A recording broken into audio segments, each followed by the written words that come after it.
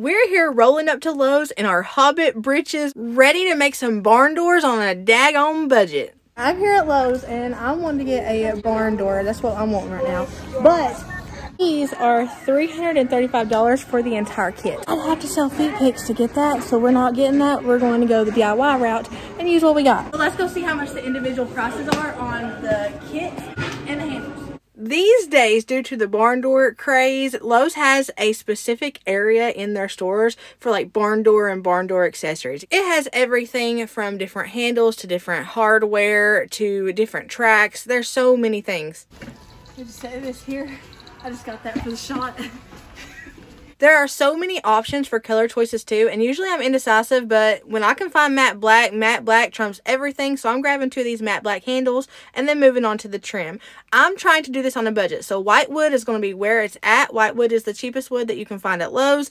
Pine is better quality, but it comes at a much steeper price, so I always choose white wood over anything. I usually walk right by those primed pieces of trim, especially the primed pine, but you can get these in bulk savings. The more you get, the cheaper you get them individually for. So I always keep an eye on that. Because I had to buy several pieces of this trim, I went on and got these, the already primed one. It's going to make my life so much easier when it comes to painting. Ooh, we're getting this mobile mansion together, son. So let's break down the cost difference. Now, if you were to get the brand new barn door and barn door kit that I showed you guys, if you got two of them to do the double barn doors that I'm wanting to do, you would be spending about $700. That's a whole lot of feet pigs. I simply don't have $700 for barn doors. I, I don't. I have a set amount of money that I can spend on barn doors and I don't have anything over that. And my feet are too crusty I couldn't even sell them on clearance. Some of us have no choice but to do things DIY. $700 for the two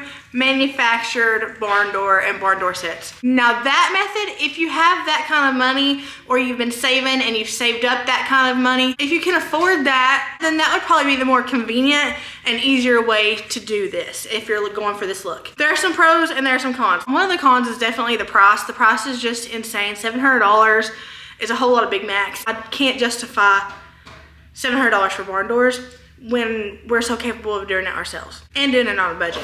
But I can't lie, it is definitely more convenient and it's easier. The pros to doing it ourselves is for two barn doors, we spent a subtotal of $297. After taxes and everything, we spent a whopping $326, which is still cheaper than even one of those barn door kits. Now, upon doing further investigation though, I have seen on the internet that Home Depot actually has barn door kits for $199. If that's true, I haven't seen it with my own eyes, but I've been hearing some buzz about it on the internet. If that is true, I think they're raw barn doors and you would have to stain them or paint them, but that is a much better deal than the barn doors and barn door kits at Lowe's. That is a steal compared to the Lowe's one. The Lowe's one is finished, but honestly, $335 for a barn door at Lowe's or $199 for a barn door at Home Depot. Finished or unfinished, the Home Depot one is a steal and it's definitely worth getting the paint or the stain or however you're going to paint or stain it on the side because even adding that stuff is going to be significantly cheaper. You get $135 savings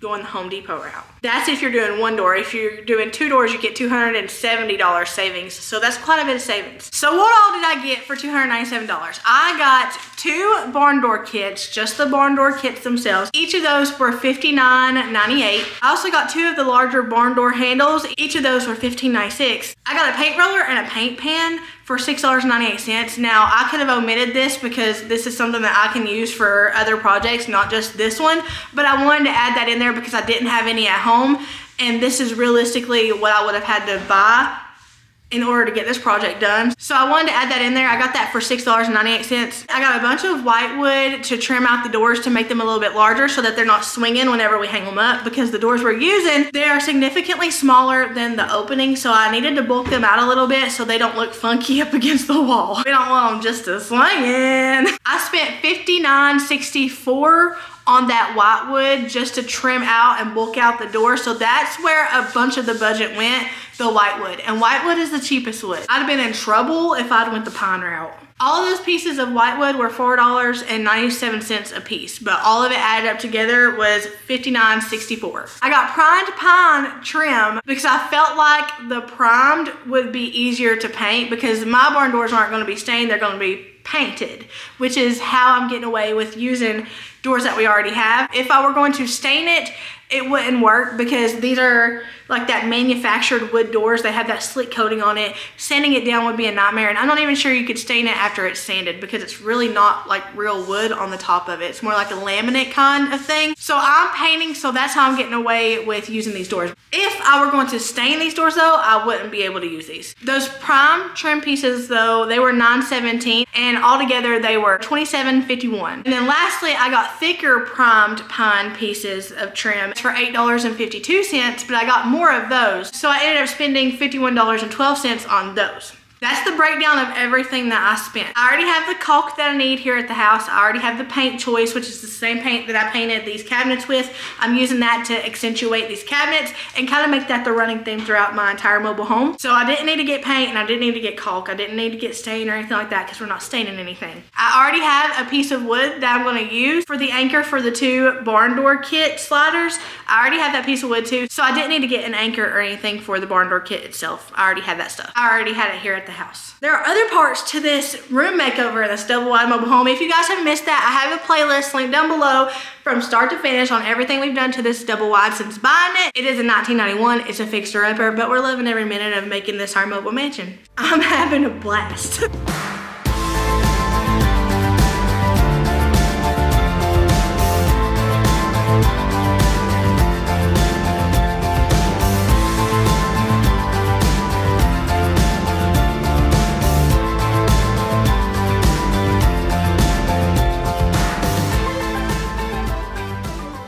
through the rest of the mobile home and we're going to put brand new doors in. So we're reusing these old doors that came with this double wide and we're going to turn them into my dream barn doors. Shane has this habit of making my dreams come true.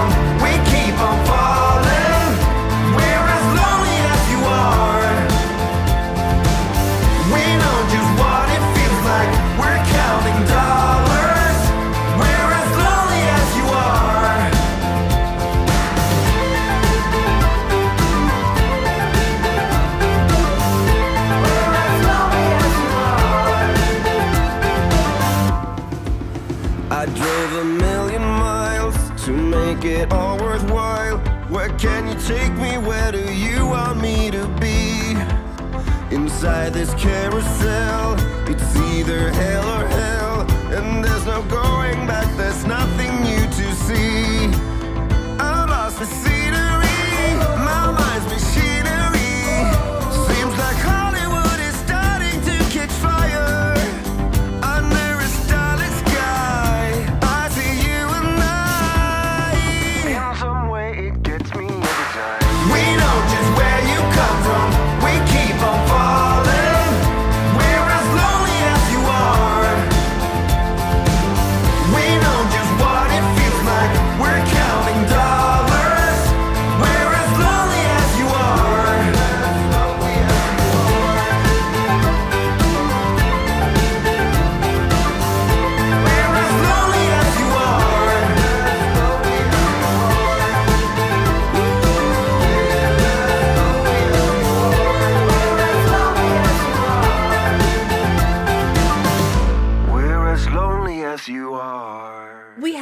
up with a creative and affordable way to bulk out these doors because these are just bedroom style doors and we needed them a little bit bulkier to give us that traditional farmhouse rustic hanging barn door look. So we took this little trim that we found at Lowe's and we lasagna layered it to bulk it out. I mean, we just layered it like a lasagna, one piece on top of another piece, and we attached it all with brad nails. So we didn't have to do no gnarly screw holes or anything. Everything trim wise is attached to this door with brad nails. We just didn't know how much the door could take and we didn't want to put a bunch of pressure on it by using screws. While we were concerned about the old door, we were also concerned with the wood. We didn't want the white wood to splinter.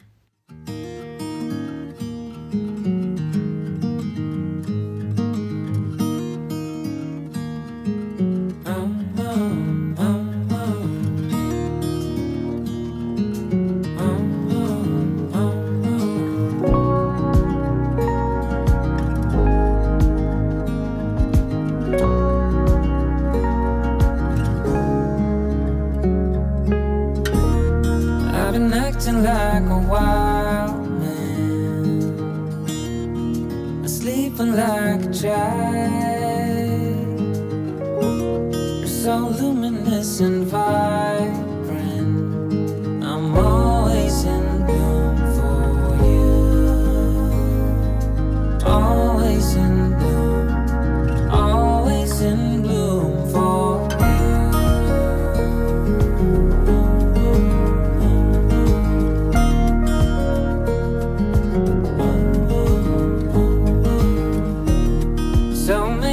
I'm so stranded.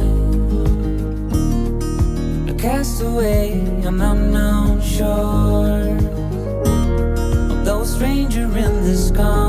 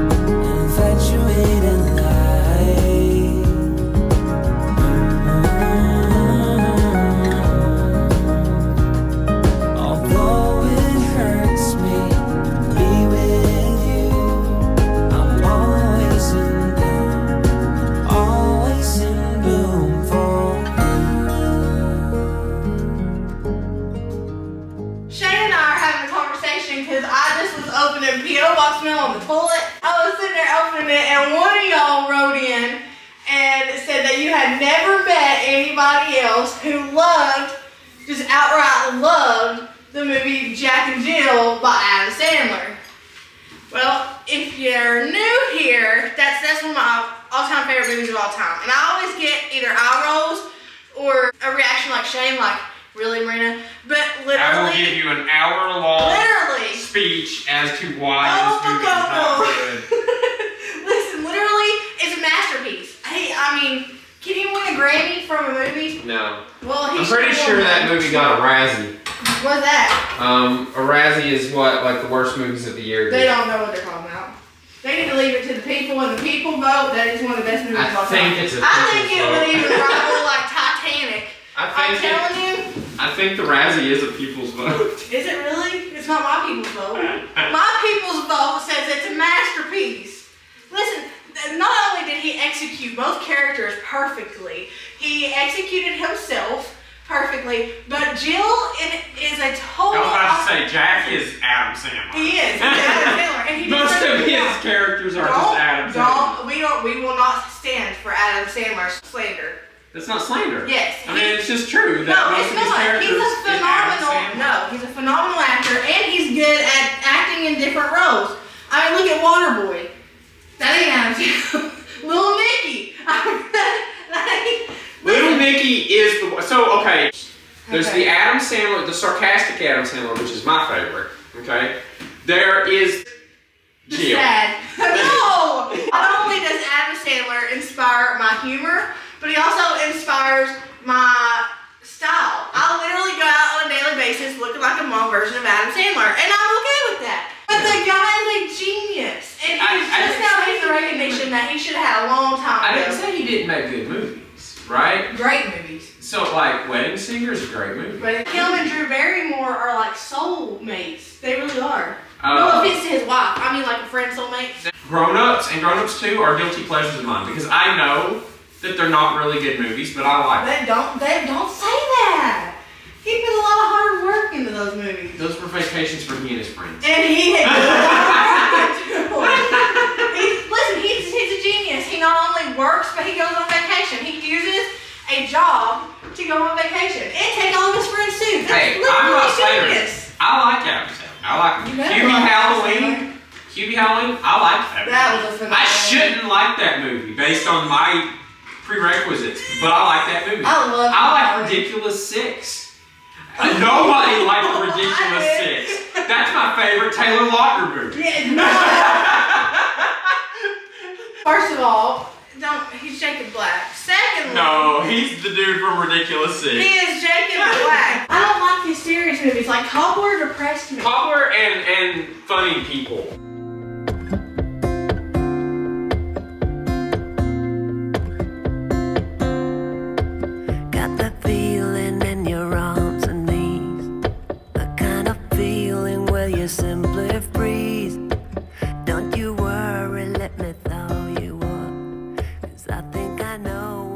Surprisingly, it was really hard to get the caulk in the little corners. It's also really hard though to get like the paint to not bubble up because it wants to puddle. So I'm having a hard time getting the paint smoothed on these. But we're making it work. I'm doing two coats in total on the door. Two coats of that paint is all it takes because that paint is so good. It is so good. I will, as long as I can That's afford Sherwin it. Williams, right? Yeah, as long as I can afford it, I will always use Sherwin Williams. Now, if it's out of the budget, I can't help it. But as long as it's in the budget, If it's out of the budget, we go color place, baby. Color Place is the OG of what we used when we started doing renovations, Yeah, and I can't, I can't hate on it. Because Well, it's there's only one thing I will hate on it. what? That's because Walmart barely has any of it. Well, that they're phasing the Color Place paint out. So, like in Walmart, you can hardly you can hardly find Color Place anymore because they're phasing it out. Walmart's paint, the Color Place itself isn't the problem, Yeah. but the employees sometimes mix it weird. It's because you'll you'll hit the button for the employee. And I ain't got nothing against the person that comes and does it, but the person that comes and does it is like Billy who works over in electronics. Yeah. Billy who works in electronics doesn't know how to mix the paint. Julie from jewelry doesn't understand how to mix the paint. So you ask for like rose quartz rose, and you get like Pepto Bismol pink. You know it's bad when, when Billy from electronics or Julie from jewelry comes, but when it's Rudy from meats, get ready. Miss spot. I told you.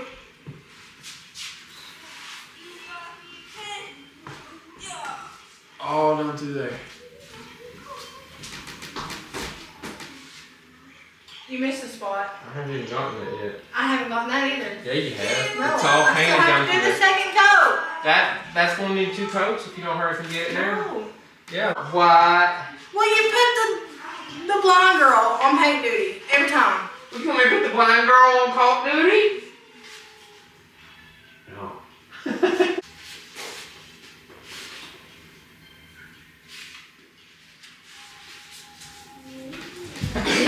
nice try. Does her breath smell better now? No, I'm not gonna try that. Come here. Her, her Let me smell your breath. Smells soupy dookie. Soupy dookie. No, that is not. You need to eat your Mentos. Get over there and eat your mint. Moon pie. Does your breath smell like soupy dookie?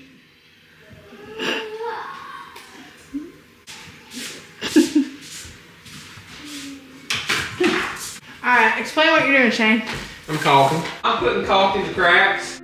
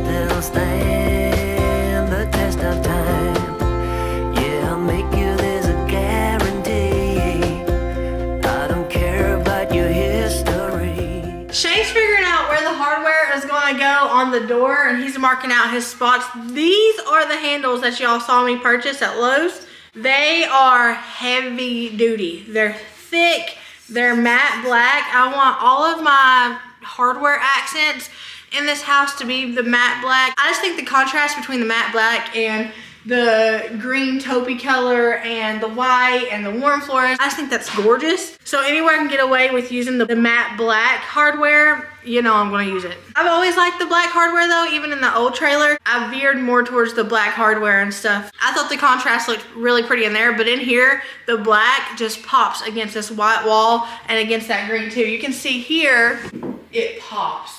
And I'm a fan of the exposed barn door hardware. A lot of people, Shane was even talking about how he could hide it in a shadow box if I wanted him to. But I think one of the most gorgeous parts of the barn door set is the hardware. The hardware is really pretty and it just like makes it pop. It gives it that rustic feel. I am becoming a fan of rustic. I think my style is kind of evolving from Hobby Lobby Farmhouse, which, mind you, don't let anybody make you feel bad if you have Hobby Lobby Farmhouse in your house, in your home, because Hobby Lobby Farmhouse is gorgeous. I don't care what the internet says.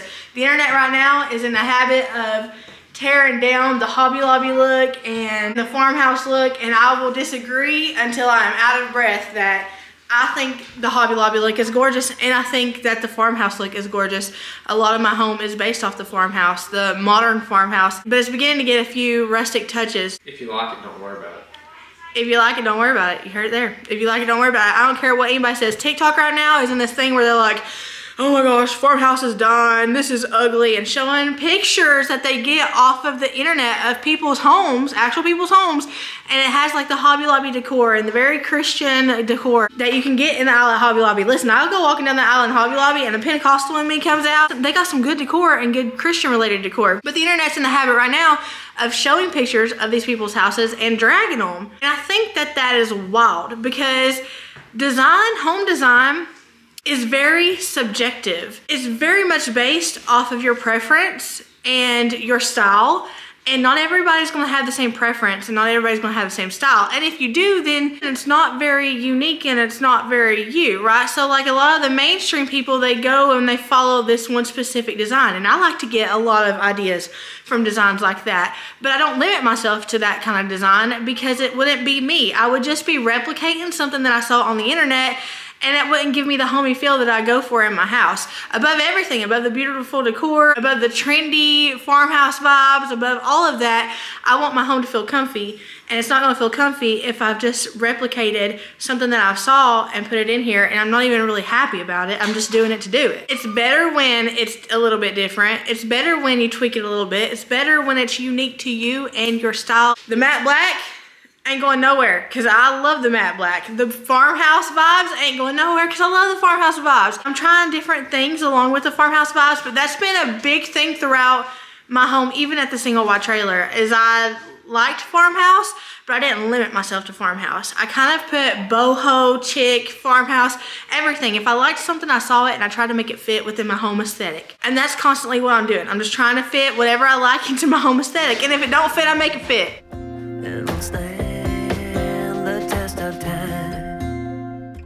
Shane's making fun of me clearing my throat. Okay, so here's the deal. I love those doors, A. I love them. I cannot have anything else in this room that is that green color or I'm gonna overdo it. And you can't overdo a good thing. So the green taupey color in here, it's Oyster Bay by Sherwin-Williams. In here is just gonna be on my cabinets and on the door right there. That way it's cohesive, it kind of ties the room together, but I'm not overdoing it, which could be really easy to do. I have a habit of going all in. it's all or nothing with me. So it's a wonder I don't have like green everything accented throughout here. But I've learned over the last couple of years that a little goes a long way, especially when you're looking at a complementary stain choice or complementary paint choice. Love you, Jack, for grilling. Uh, it, an accent killer, a little, with an accent killer, a little goes a long way. Oh my gosh!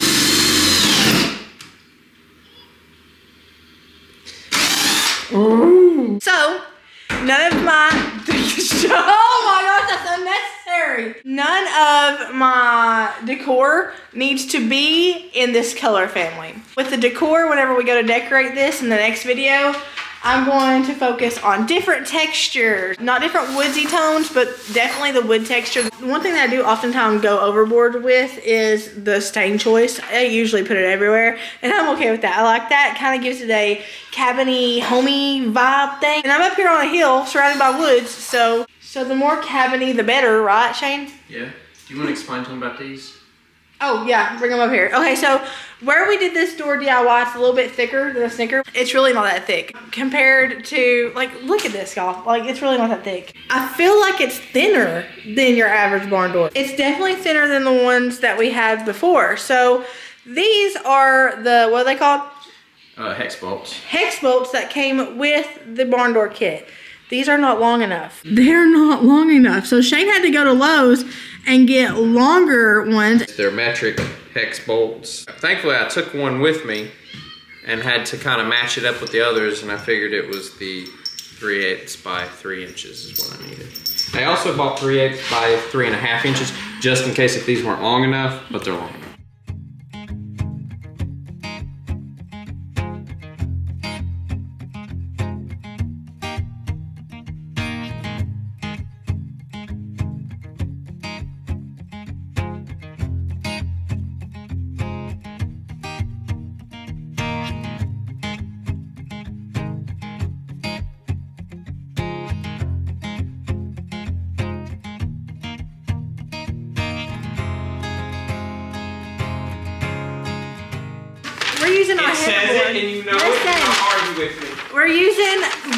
Scrap wood that we had. Actually, it's wood that it's not scrap. We hadn't cut it, We right? hadn't used this. We hadn't used it. We This got it for. going to be used for another project that uh, it, it was a uh, off the records project that I was going to do.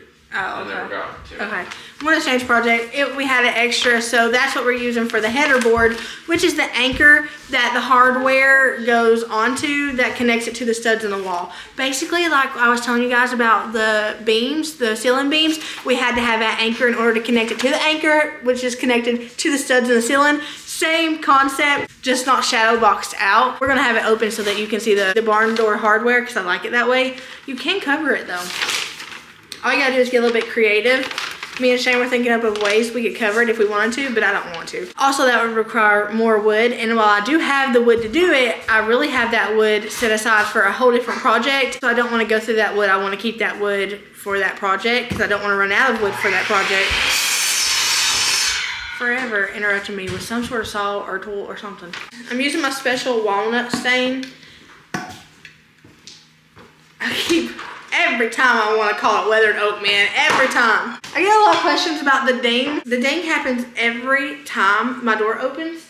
And that's out of necessity. It can get annoying, but if you have a kid with autism or any other developmental delay or anything like that, then I would highly suggest an alarm. Um, not only an alarm system, I think everybody should have one of those, but like an alarm that lets you know when the windows and the doors are opened. So if you hear that ding, just know it's my it's my door alarm.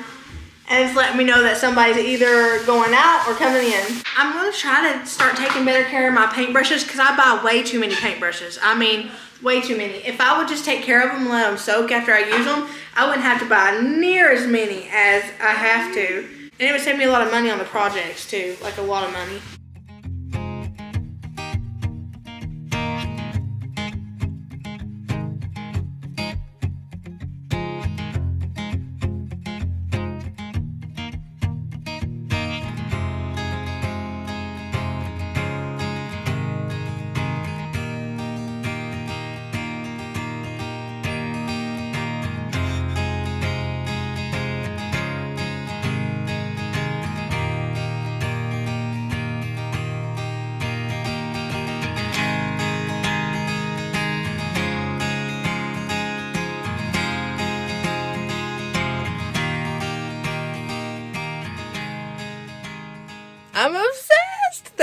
Out with me. I hope y'all have a blessed morning or not, whatever it is, wherever you're at. Know that I love you, but Jesus loves you so much more.